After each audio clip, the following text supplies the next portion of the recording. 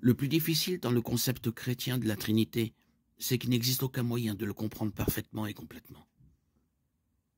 La Trinité est un concept qu'aucun être humain ne peut comprendre pleinement, et encore moins expliquer. Dieu est infiniment plus grand que nous. Par conséquent, nous ne devons pas nous attendre à pouvoir le comprendre pleinement.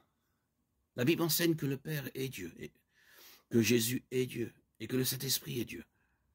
La Bible enseigne également qu'il n'y a qu'un seul Dieu. Bien que nous puissions comprendre certains faits concernant la relation entre les différentes personnes de la Trinité, en fin de compte, cela est incompréhensible pour l'esprit humain.